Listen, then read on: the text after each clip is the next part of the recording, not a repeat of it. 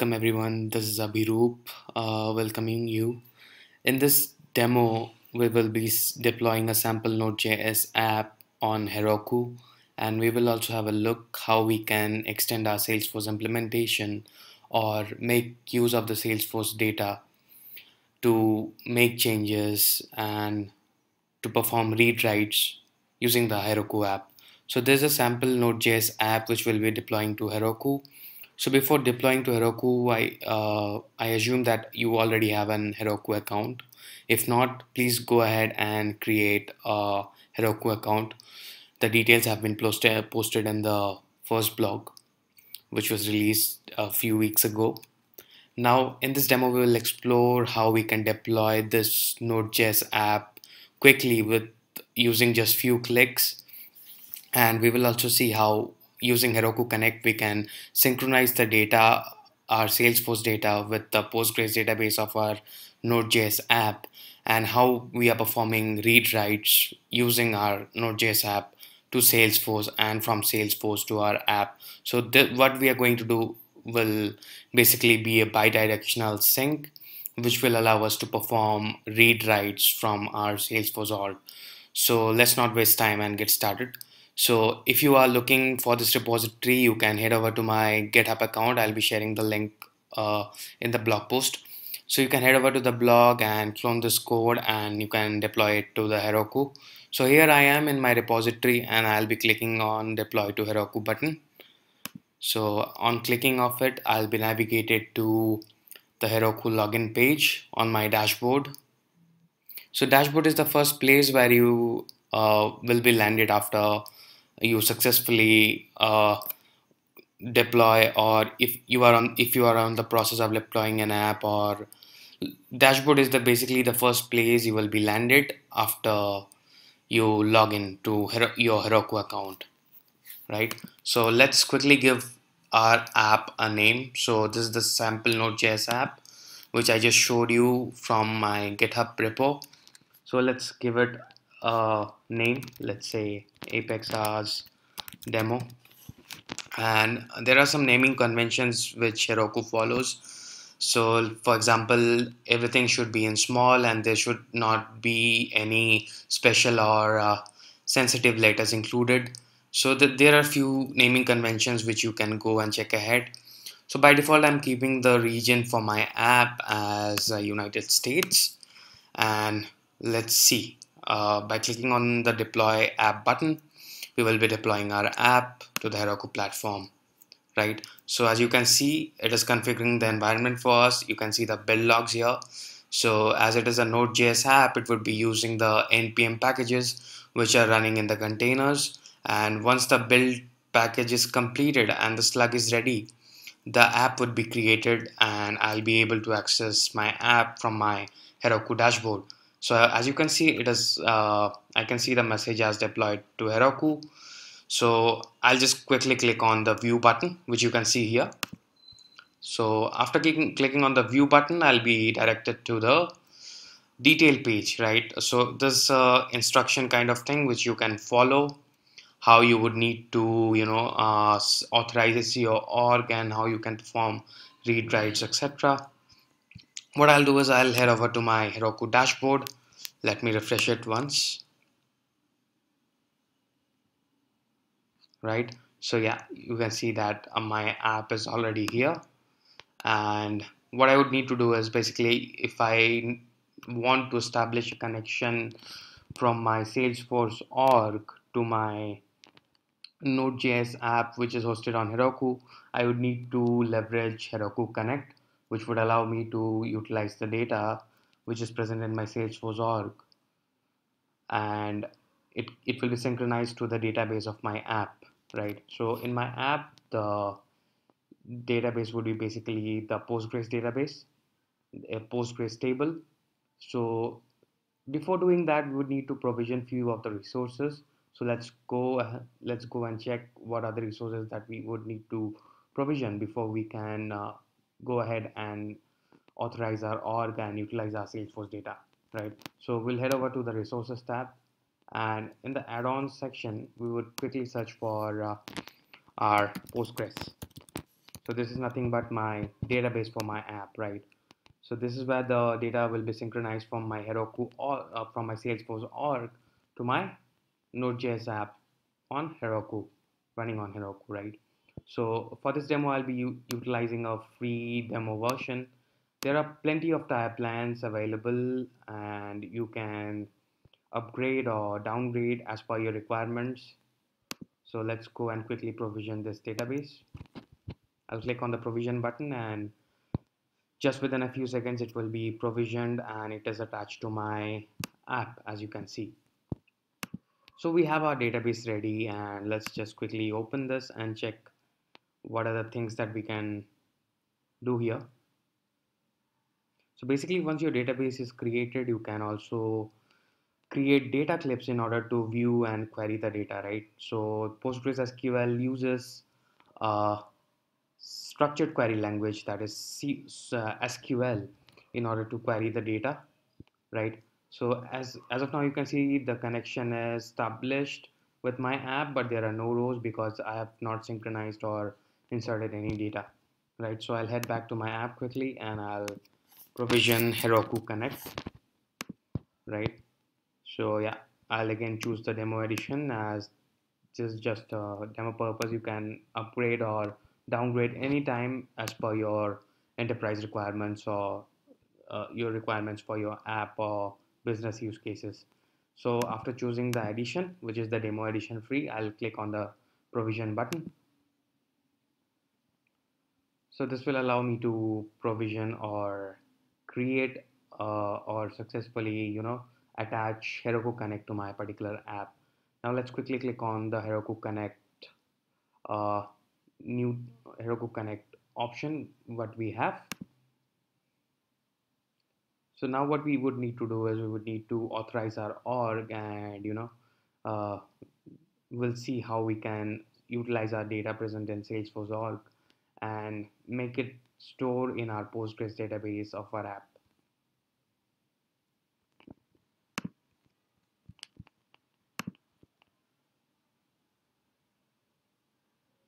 So it is initially checking the connections, right? So once we click on this option of Heroku Connect, so this will basically open you a new tab in which you can uh, in which you will have options to you know see the mappings check out your logs etc etc but the first and foremost initial thing would be to set up a connection with your org right? So let's go ahead and set up a connection with our org. I'll click on the setup connection button here. And yeah so Salesforce this this will be populated by default as we were going to connect as we are going to connect our Salesforce org and utilize the data right? So here we need not make any changes. So we'll go ahead and uh, click on next.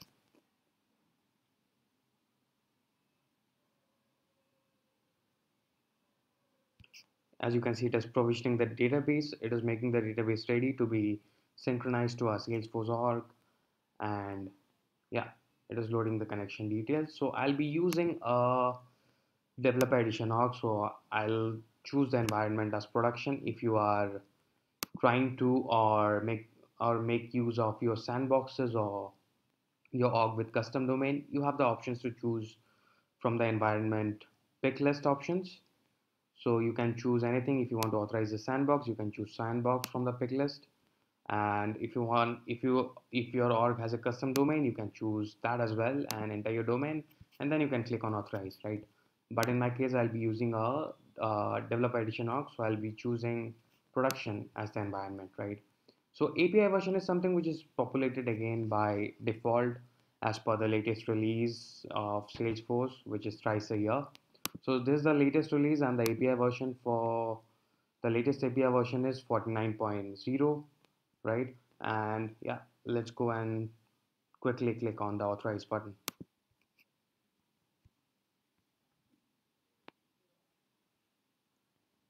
yeah so it has navigated me here. And what we'll be doing is we'll be authorizing my DevOps. So I'm entering my credential here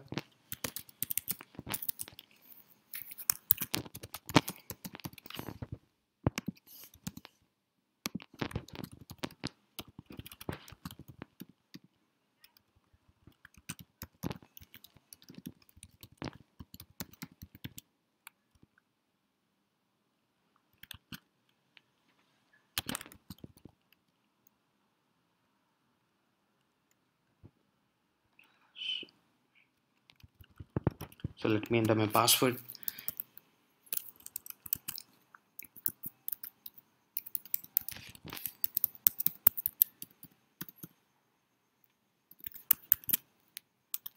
So yeah, I have just entered my credentials and as you can see, my uh, connection has been established with my demo edition sales, the developer edition org. And right now what I would uh, do is as this sample node.js app, uh, what we would be doing is we would be uh, utilizing the contacts data, contacts object data, and we'll be making some changes to few fields and we can simultaneously go ahead and check whether those changes are being reflected in our Salesforce org or not. So yeah, for before doing that, we would need to create some mappings. As you can see, uh, there is a mappings tab here. So I've clicked on the mappings tab and uh, we would need to map our Salesforce object. For this purpose, I would be utilizing my contact object. Right.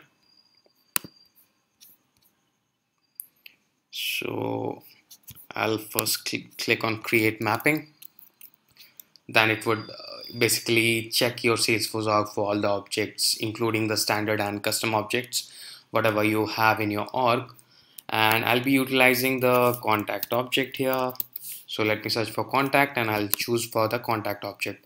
So after clicking on that you would see that a query would be running uh, which would basically query all the fields which you have uh, in your contact object right? So yeah let me select few uh, fields basically which we will be utilizing in our demo. So first name last name is always necessary if you are trying to insert a new record or something. So yeah let me go and choose the last name for the contact. And I'll be choosing the phone field right? Uh, the phone and the mobile field. Basically I'll be using the mobile field and making changes from my Node.js app. And we will see if that change is being reflected in our Salesforce org or not right? And we will also you know uh, see how how faster this happens or what is the frequency or the polling rate of changes uh, it takes in order to uh, commit the changes back to our Salesforce org. So I have uh, chosen the fields which I need in order to uh, uh, utilize uh, for this demo. And as you can see here after while you, while you are creating the mapping here is something called as polling frequency right so this is something which would decide the frequency of changes or uh, you know the changes which you do in your Heroku app so uh, it will basically determine the time it takes in order for the changes to commit to your uh, Salesforce org.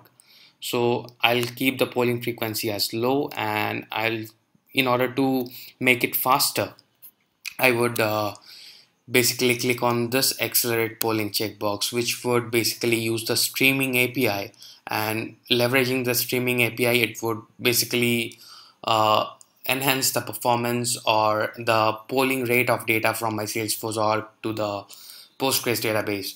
So using this would basically you can consider it as a real-time data sync, almost real-time.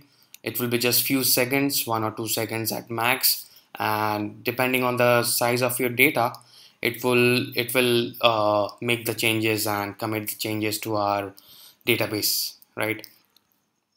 So uh, we would be doing a bi-directional sync from our Node.js app to to our Salesforce org. So I'll click on this option as well, which says write databases updates to Salesforce. Right. For this, we would be needing an unique identifier such as a particular uh, external ID field, which you can create uh, on the contact object. I think I've already created an external field if you don't know how to create an external field, just uh, search for how you can create an external field in Salesforce objects, right? So I'll choose this option and so this, this is my external identifier field, which I've already created. This is uh, uh, case sensitive, which is uh, needed when you are using a particular field as the external identifier, which is used or to be used in an external system, right? So I'll choose the field which I've created. So this shows me a warning that fields needed for insertion Salesforce need to be mapped. So there's a required field uh, not related to this demo. So I was doing, doing some other, uh, using this field in some other uh, app. So let me choose this field as well, right? So choosing this field will allow me to, uh, yeah, make it go. And quickly after doing all these changes, after selecting the fields, after deciding the polling frequency, which is uh, completely up to you and your business use case, and after selecting my identifier, because I'll be doing a bidirectional uh, perform uh, operation, which is basically read write. So I'd be uh, needing an external identifier, right? So yeah, I'll click on save now, and it will start establishing the connection between my Heroku app and the Salesforce org, right? You can see that there's uh, columns which are loading. So I have the fields which we have chosen here will be mapped and how so and the Salesforce rows will indicate you the number of records which you have in your Salesforce object, right? So once this is done, we'll quickly go and see how we can utilize this right? So the status is okay. It says it, your uh, Salesforce as object is synchronized with your Sales, uh, Heroku app right? And we'll go and see how we'll go and check how we can perform a read write right so if you click on the logs you can see that there are no errors and you can click on the explorer tab also as well to see the records so clicking on the Explorer tab will allow you or show you basically the records, all right, and along with your Salesforce record ID. And this is the external ID which I have used. And yeah, so let's go and authentication is already done, right? And yeah, let's go and quickly. So as you can see, you can also utilize this commands and query your data from your object right? So this uses a SQL commands and this is how you will do it. So yeah let's head over to our app. So we have provisioned the Postgres database. We have provisioned the Heroku Connect. We have also authorized our uh, authentication with our Salesforce org we have chosen the few fields right? Now it's time to test our app. So this is our app. I'll quickly click on open app. So yeah. So let's head over to my salesforce org and let's see for a contact record. Right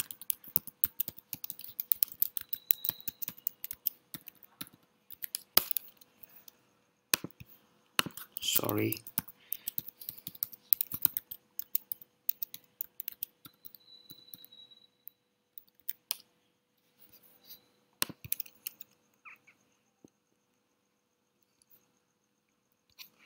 So yeah. So by uh, clicking on this open app button will open up your app Heroku app. So this is the app right? So this is my so this is my phone changer app. So yeah let's quickly head over to my you know uh, contact record and check for the few records which we have. And then we'll be making changes to the data using my Heroku app. I'll change this mobile number again. 687 689 9870 let's give it 1 2 3 some values. Right. Let's say Anup and Gupta his email ID again. Right? And a new phone number let's say 1 2 3 4 5 6 7 8 9 0 and let's quickly click on the update phone number button. It says your record has been updated. Let's quickly go and see whether the phone number change has reflected or not.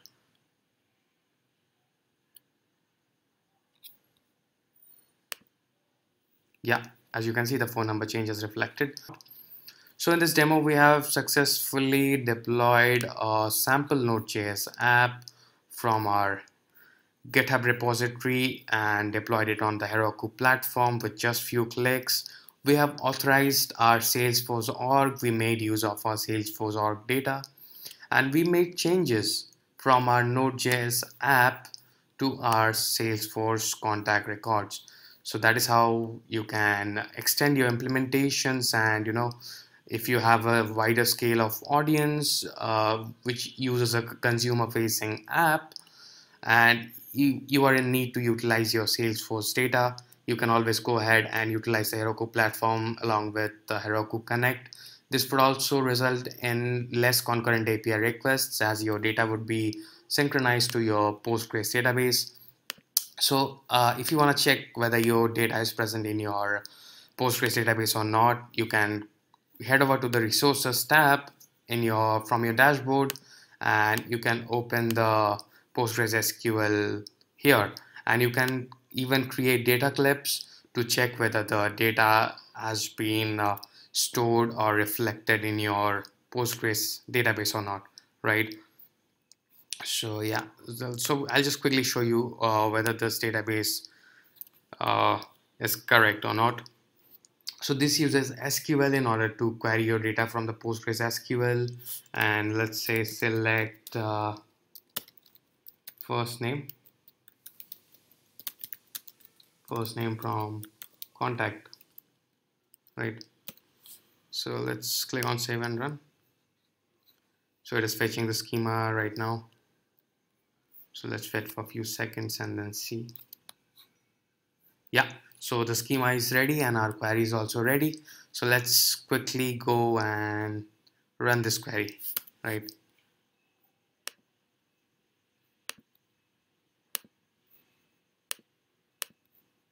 All right salesforce.contact yeah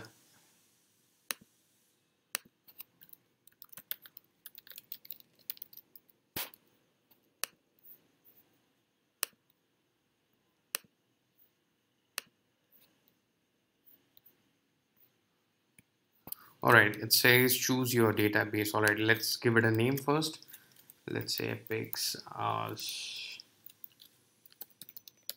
Postgres database.